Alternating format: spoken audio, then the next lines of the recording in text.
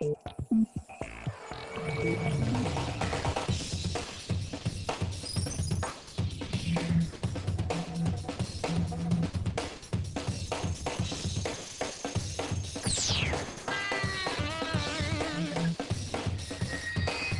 Happy Friday, everyone, and welcome to yet another episode of WatchGuard Security Week in Review, a video podcast dedicated to quickly summarizing the biggest information and network security stories each week. As always, I'm your host and security nerd, Corey Nachreiner, and this is the episode for the week starting January 28th, 2013. This week actually included a number of interesting security stories, but for time's sake, I'll only concentrate on three of them. That said, I'll post details about some other stories in the reference section of the blog post associated with this video. Let's start with the news about Yahoo Mail account compromises. This story has actually been brewing since the beginning of January. Basically, earlier in the month, an attacker found a cross-site scripting vulnerability on Yahoo's website, and he released a YouTube video showing how he could leverage that vulnerability to steal some account credentials. Now, Yahoo said they fixed that vulnerability shortly after it came out.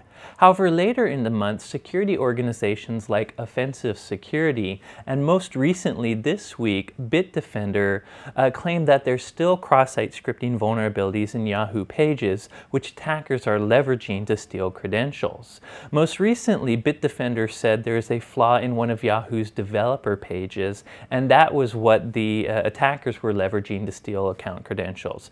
Now, the good news is, in order for this exploit to work, the attacker has to send you some sort of email or instant message that contains a specially crafted uh, hyperlink. And you'd have to click on that link and fall for some, some user interaction in order for him to actually steal your credentials. So as long as you're careful not to click any sort of specially crafted links, you're probably safe from this. Nonetheless, if you're a Yahoo Mail user, you might want to pay attention to your account to see if there's any unusual activity on it. In much bigger news, H.D. Moore, who's the creator of Metasploit and also the CSO of Rapid7, released research on his five-month security research project outlining some of the vulnerabilities in the Universal Plug-and-Play protocol. Now, if you haven't heard of Universal Plug and Play, this is a, a group of networking protocols that allow uh, devices to seamlessly discover each other on a network and to start communicating and sharing data. It was originally intended to help consumers uh, create products that could quickly network and find each other on home networks. So it's mostly a consumer-oriented protocol. Anyways, over the past five months, Moore and his team have been scanning the IPv4 address space on the internet, looking for devices that respond to universal plug-and-play queries. And what they found greatly surprised them. Essentially, they found 81 million or over 81 million devices that actually responded publicly to their universal plug-and-play queries. That's about 2.2% of the internet, so a ton of devices. Furthermore, they found that the majority of these devices used four different universal plug-and-play software development frameworks. And many of these software development frameworks contained a ton of security vulnerabilities. In particular, one of the software frameworks suffered from a very critical uh, remote code execution flaw. Basically, if you can send a single, uh, even spoofed UDP packet to a universal plug-and-play device, you could leverage this flaw to remotely execute code, potentially potentially gaining control of the device. And uh, Moore found that 23 million devices suffered from this particular vulnerability. So essentially, the research not only proves how exposed these universal plug-and-play devices are on the public network, but that a lot of them are actually running some legacy uh, development software that haven't been updated and suffer from many, many vulnerabilities. So what should you do about this particular set of universal plug-and-play vulnerabilities? Well, the sad news is they affect thousands of devices from thousands of different vendors, so they're quite extensive and pervasive. Now, the good news is if you're a business user, chances are you're not exposed to these flaws. Most business routers and business class network gear do not enable universal plug-and-play. In fact, firewalls like WatchGuard's XTM appliances block UDP uh, port 1900 by default. So we aren't exposing these services to the internet as a business. That said, I still recommend businesses scan their internal network looking for any uh, universal plug-and-play devices, which you probably have. Things like printers often have universal plug-and-play services enabled. That way you have the option of disabling universal plug-and-play internally to at least avoid internal attacks leveraging these sorts of vulnerabilities.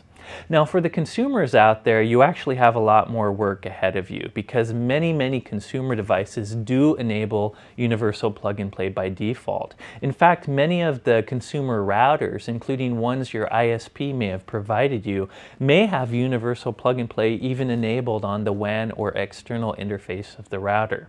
So as a consumer, the first thing you need to do is check your, your gateway router or your internet router and make sure you do not have universal plug-and-play and play enabled externally. On top of that, consumers should also scan their network for universal plug-and-play uh, devices. The good news is Rapid7 has released a free tool, I believe they call it Scan Now UPnP, and this tool can scan your network and tell you what devices have universal plug-and-play enabled. Now, if you're using universal plug-and-play, you may want to keep it enabled. If that's the case, you might want to check with your vendor to make sure you're running the latest software so that it's not vulnerable to any of the common security vulnerabilities Moore found in his research. However, if you're not using universal plug and play, the moral of this entire story is disable it. If you don't use it, turn it off because it can be very, very dangerous. Unfortunately, uh, ease of use and convenience, which is something universal plug and play supplies, doesn't play very well with security. In fact, usually convenience means insecurity in many cases. So again, the moral of the story, if you're not using universal so plug and play, turn it off. Finally, the biggest news this week came out late Wednesday or Thursday morning, and this was a story about New York Times alleging that they were hacked by Chinese-based hackers for the past four or five months. Essentially, the New York Times released a story talking about their research into a network breach. They hired a company called Mandiant, and what they found was they had been extensively breached. Many of the devices on their network had many different variants of malware on them. Uh, the Mandiant organization tried to track down uh, where this malware was coming from, and they did track it down to some uh, universities in the United States, but those universities were victims themselves and, and seemed to be proxy servers for attackers, which Mandiant alleges comes from China. In any case, the New York Times, when they found this breach four months ago, they didn't uh, uh, clean it up immediately. In fact, they actually allowed the attackers to stay on their network to allow the security researchers and the forensic teams to continue trying to see where the attack was coming from and what exactly was being stolen. In the end, it turned out the attackers gained the credentials of many of the journalists. So in any case, this of course made big news. Everyone's talking about this latest so-called China-based uh, New York Times hack. In fact, right after New York Times made this allegation, the Wall Street Journal posted its own story talking about how they also were breached by what they believe are Chinese-based attackers. These stories seem to continue to confirm that nation states are increasingly getting involved into cyber espionage espionage and cyber attacks, which I don't think is a good thing. Frankly, some of the uh, advanced techniques that these nation states seem to be using in their attacks and malware will surely continue to trickle down to criminal malware that affects all businesses. On top of that, these attacks show that advanced, persistent uh, attack campaigns can sometimes get past legacy defenses. If you want to protect yourself from the more advanced and persistent attackers out there, you definitely need defense in depth. No one security control or solution like a basic firewall or basic AV is going to prevent every single attack on your, your network or organization. Rather, you need many different layers of security in order to protect you from the many different blended threats out there, which by the way is exactly what WatchGuard provides in our XTM security appliance. So if you're a business or consumer out there that, that wants to protect yourself, definitely think about layered security and defense in depth. So that's it for this week's Security News Summary. It certainly was an action-packed week from a security industry perspective, and I hope you learned something and enjoyed the show. As always, for more regular security news, check out both our WatchGuard Security Center blog and watch us on Twitter. I'm at SecAdept and WatchGuard is at WatchGuardTech. As always, thank you for watching, and here at WatchGuard, we're rooting for you.